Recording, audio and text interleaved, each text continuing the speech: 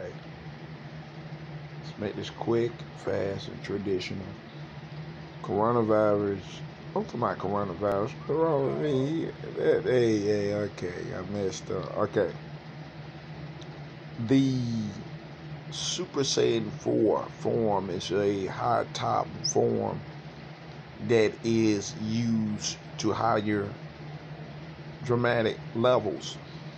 How do the form become so strong? and simple. I'm gonna make this quick.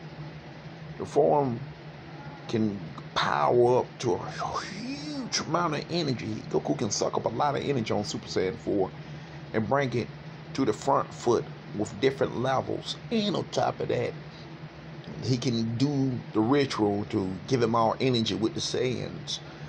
And um we're talking about a higher dramatic measures. Zyra, I mean, um, Gazaru, the gorilla, his power grow even higher with those scales.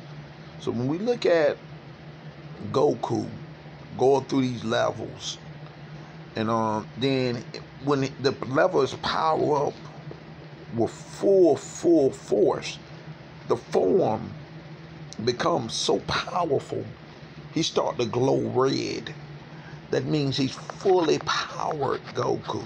Yes, yes, fully powered. The form is so powerful. Got a lot of dimensions to level four too. So when you look at the level four platform and you see the power grows that big, you gotta understand Goku is a super being. So it's it's first it's the first form of Super Saiyan 4, then the high power Super Saiyan 4. That's the difference take each other and each other.